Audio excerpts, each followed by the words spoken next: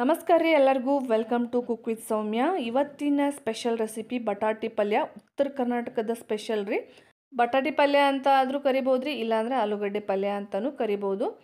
ಹೆಚ್ಚಾಗಿ ನಾವು ಕುದಿಸಿ ಸಿಪ್ಪೆ ತೆಗೆದು ಮಾಡ್ತೇವೆ ಬಟ್ ಇವತ್ತು ಸಿಪ್ಪೆ ತೆಗಿದನ ಸ್ಪೆಷಲ್ಲಾಗಿ ಯಾವ ರೀತಿ ಉತ್ತರ ಕರ್ನಾಟಕದ ಸ್ಟೈಲ್ ಒಳಗೆ ಮಾಡ್ಬೋದು ಅಂತ ತೋರಿಸ್ಕೊಡಕತ್ತೇನೆ. ಬರ್ರಿ, ಹಂಗಂದ್ರೆ ತಡ ಮಾಡೋದು ಬೇಡ, ಹೆಂಗೆ ಮಾಡೋದು ಅಂತ ನೋಡೋಣ ಮೊದಲಿಗೆ ನೋಡ್ರಿ, ಐದರಿಂದ ಆರು ಆಲೂಗಡ್ಡೆನ ಸಣ್ಣದಾಗಿ ಕಟ್ ಮಾಡಿ ಇಟ್ಕೊಂಡತಿ ಸಿಪ್ಪೆ ತೆಗೀದನ ಸ್ವಚ್ಛಗೆ ಎಲ್ಲ ತೊಳೆದು ಸಿಪ್ಪೆ ತೆಗೀದನ ಸಣ್ಣದಾಗಿ ಕಟ್ ಮಾಡಿ ಇಟ್ಕೊಂಡಿರುವಂತಹ ಐದರಿಂದ ಆರು ಆಲೂಗಡ್ಡೆ ಅದಾವ್ರಿ ಮೀಡಿಯಮ್ ಸೈಜ್ ಆಲೂಗಡ್ಡೆ. ಈಗ ಒಗ್ಗರಣೆ ಮಾಡೋನು ಬರ್ರಿ. ಒಗ್ಗರಣೆಗೆ ಒಂದು ದೊಡ್ಡ ಚಮಚದಷ್ಟು ಎಣ್ಣೆ ಸೇರಿಸ್ಕೋಬೇಕ್ರಿ ಎಣ್ಣೆ ಕಾದ್ಮೇಲೆ ಅರ್ಧ ಚಮಚ ಸಾಸ್ವಿ, ಅರ್ಧ ಚಮಚ ಜೀರಿಗೆ ಸೇರಿಸ್ಕೋಬೇಕ್ರಿ ಅದಾದಮೇಲೆ ನೋಡ್ರಿ ಒಂದು ಮೀಡಿಯಮ್ ಸೈಜ್ ಉಳ್ಳಾಗಡ್ಡಿನ ಸಣ್ಣದಾಗಿ ಕಟ್ ಮಾಡಿ ಇಟ್ಕೊಂಡಿತ್ತು, ಅದನ್ನ ಸೇರಿಸ್ಕೊಳತ್ತಿ ಒಂದು ಎರಡು ಸಳು ಕರಿಬೇವನ್ನ ಸೇರಿಸ್ಕೊಳತ್ರಿ ಅದಾದ್ಮೇಲೆ ಅರ್ಧ ಚಮಚದಷ್ಟು ಅರಿಶಿನ. ಈಗ ಎಲ್ಲ ಇಂಗ್ರೀಡಿಯೆಂಟ್ಸ್ನು ಲೈಟಾಗಿ ಫ್ರೈ ಮಾಡ್ಕೋಬೇಕು.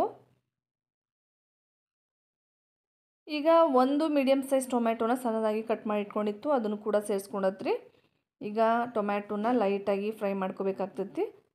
ಹೆಚ್ಚಾಗಿ ಸಿಪ್ಪೆ ತೆಗೆದು ಮಾಡ್ತಾರೆ ಆಲೂಗಡ್ಡೆ ಪಲ್ಯ. ಸಿಪ್ಪೆ ತೆಗೆದ ಈ ರೀತಿ ಮಾಡಿದರೆ ಇನ್ನೂ ರುಚಿಯಾಗಿರ್ತೈತೆ ಅಂತ ಹೇಳ್ಬೋದು. ಡಿಫ್ರೆಂಟಾಗಿ ಟೇಸ್ಟ್ ಕೊಡ್ತೈತಿ. ರೊಟ್ಟಿ ಚಪಾತಿಗಂತೂ ಸೂಪರ್ ಕಾಂಬಿನೇಷನ್ ಅಂತ ಹೇಳ್ಬೋದು ರೀ ಈಗ ನೋಡ್ರಿ ನಾನು ಹೆಂಚ್ಕೊಂಡು ಇಟ್ಕೊಂಡಿದ್ನಲ್ಲ ಆಲೂಗಡ್ಡಿನ ಒಗ್ಗರಣೆ ಒಳಗೆ ಸೇರಿಸ್ಕೊಳಕತ್ತೇನೆ. ಆಲೂಗಡ್ಡೆ ಕಟ್ ಮಾಡಿದ್ಮೇಲೆ ನೀರನ್ನ ಹಾಕಿ ಇಡ್ಬೇಕ್ರಿ ಇಲ್ಲ ಅಂದ್ರೆ ಕಪ್ಪಾಗಿ ಬಿಡ್ತೈತೆ ಆಲೂಗಡ್ಡೆ. ಈಗ ಖಾರಕ್ಕೆ ಅನುಗುಣವಾಗಿ ಅಚ್ಕಾರದ ಪುಡಿ ಸೇರಿಸ್ಕೊಳತ್ತದ್ರಿ ಅದಾದಮೇಲೆ ರುಚಿಗೆ ತಕ್ಕಷ್ಟು ಉಪ್ಪು. ಅದಾದಮೇಲೆ ಅರ್ಧ ಚಮಚದಷ್ಟು ಗರಂ ಮಸಾಲ ಸೇರಿಸ್ಕೊಳತೈತ್ರಿ ಈಗ ನೋಡ್ರಿ ಧನಿಯಾ ಪುಡಿ ಸೇರಿಸ್ಕೊಳತ್ತೈತಿ ಅರ್ಧ ಚಮಚದಷ್ಟು ಅದಾದಮೇಲೆ ಸ್ವಲ್ಪ ಸಕ್ಕರೆ ಸೇರಿಸ್ಕೊಳತ್ತದ್ರಿ, ಇದು ಆಪ್ಷನಲ್ಲು ನೀವು ಬೇಡ ಅಂದರೆ ಸ್ಕಿಪ್ ಮಾಡ್ಬೋದು. ಈಗ ಎಲ್ಲ ಇಂಗ್ರೀಡಿಯೆಂಟ್ಸ್ನು ಚೆಂದಾಗೆ ಮಿಕ್ಸ್ ಮಾಡ್ಕೋಬೇಕು.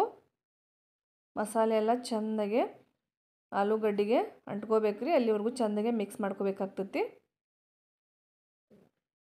ಈಗ ಅದಾದಮೇಲೆ ಕುದಿಯೋಕೆ ಎಷ್ಟು ಬೇಕಲ್ಲ ಅಷ್ಟು ನೀರನ್ನು ಸೇರಿಸ್ಕೊಳತ್ತದ್ರಿ. ನಾನು ಅರ್ಧ ಗ್ಲಾಸ್ ನೀರನ್ನು ಸೇರಿಸ್ಕೊಂಡೇನಿ. ಆಲೂಗಡ್ಡೆ ಲಘುನ ಕುದೀತಾವು, ಹಾಗಾಗಿ ಭಾಳ ನೀರು ಹಾಕೋ ಅವಶ್ಯಕತೆ ಇಲ್ಲ. ಇಲ್ಲಾಂದ್ರೆ ನೀರು ನೀರು ಆಗಿಬಿಡ್ತೈತ್ರಿ. ಮತ್ತು ಬಟಾಟಿ ಜಾಸ್ತಿ ಕುದ್ರೂ ಅಷ್ಟು ಟೇಸ್ಟ್ ಅನ್ಸಂಗಿಲ್ಲ. ಈಗ ನೋಡಿರಿ ಒಂದು ಎಂಟು ನಿಮಿಷ ನಾನು ಮೀಡಿಯಮ್ ಉರಿ ಒಳಗೆ ಬಟಾಟಿನ ಚೆಂದಾಗೆ ಕುದಿಸ್ಕೊಳಕತ್ತೇನೆ. ನೋಡ್ರಿ ಈಗ ಎಂಟು ನಿಮಿಷ ಆಯಿತು. ಮೀಡಿಯಮ್ ಉರಿ ಒಳಗೆ ಬಟಾಟಿ ಪಲ್ಯ ಚೆಂದಾಗೆ ಕುದ್ದತಿ.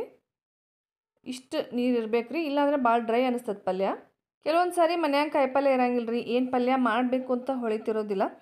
ಪಟ್ ಅಂತ ಹೇಳಿ, ಆಲೂಗಡ್ಡೆನ ಹೆಂಚಿ ಈ ಥರ ಪಲ್ಯ ಮಾಡಿಬಿಡ್ಬೋದು ರೀ ಬೇಗ ಆಗಿಬಿಡ್ತೈತಿ, ಅಗ್ದಿ ರುಚಿನೂ ಇರ್ತೈತೆ ರೀ ಈಗ ನೋಡ್ರಿ ಆಲೂಗಡ್ಡೆ ಚೆಂದಾಗಿ ಕುದ್ದತ್ತೆ ಇಲ್ಲೋ ಅಂತ ನಾನು ನೋಡೋಕೆ ಈ ಥರ ಕೈಯಿಂದ ಈ ಥರ ಹಿಚ್ಚಿಕ್ ನೋಡತ್ತೇನೆ ನೋಡ್ರಿ ನಿಮ್ಗೆ ಗೊತ್ತಾಗತ್ತಿರ್ಬೋದು ಬಟಾಟಿ ಚೆಂದಾಗಿ ಕುದ್ದತಿ.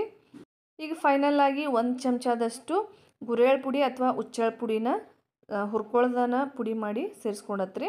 ಅದಾದಮೇಲೆ ಸಣ್ಣದಾಗಿ ಕಟ್ ಮಾಡಿ ಇಟ್ಕೊಂಡಿರುವ ಕೊತ್ತಂಬರಿ ಸೊಪ್ಪು. ನೀವು ಸ್ವಲ್ಪ ಶೇಂಗಾದ ಪುಡಿ ಹಾಕಿದ್ರೂ ಒಳ್ಳೆ ಟೇಸ್ಟ್ ಇರ್ತದೆ ರೀ ಈಗ ನೋಡಿ ಚೆಂದಾಗೆ ಒಂದು ರೌಂಡ್ ಮಿಕ್ಸ್ ಮಾಡ್ಕೋಬೇಕು.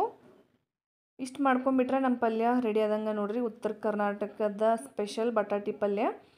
ನೀವು ಉತ್ತರ ಕರ್ನಾಟಕದ ಮಸಾಲೆ ಖಾರ ಹಾಕಿ ಮಾಡಿದ್ರೂ ಇನ್ನೂ ರುಚಿ ಇರ್ತೈತೆ ರೀ ಬಟ್ ಎಲ್ಲ ಕಡೆ ಮಸಾಲೆ ಖಾರ ಹಾಕಂಗಿಲ್ಲ. ಹಾಗಾಗಿ ನಾನು ಅಚ್ಚ ಖಾರದ ಪುಡಿ, ಗರಂ ಮಸಾಲ ಮತ್ತು ಧನಿಯಾ ಪುಡಿ ಹಾಕಿ ಮಾಡಿ ತೋರಿಸಿದ್ದೀನಿ ಸೊ ಇವತ್ತಿನ ಸ್ಪೆಷಲ್ ಉತ್ತರ ಕರ್ನಾಟಕದ ಬಟಾಟಿ ಪಲ್ಯ ನಿಮ್ಮೆಲ್ರಿಗೂ ಇಷ್ಟ ಆಗಿತ್ತು ಅಂತ ಅಂದ್ಕೊಳ್ತೇನೆ ಇಷ್ಟ ಆದರೆ ಲೈಕ್ ಮಾಡಿರಿ ಶೇರ್ ಮಾಡಿರಿ ಸಬ್ಸ್ಕ್ರೈಬ್ ಮಾಡ್ಕೊರಿ. ಮತ್ತು ಸಿಗೋಣಂತ ಮತ್ತೊಂದು ಹೊಸ ಈಸಿ ರೆಸಿಪಿ ಜೋಡಿ ಅಲ್ಲಿವರೆಗೂ ಎಲ್ಲರಿಗೂ ನಮಸ್ಕಾರ ರೀ.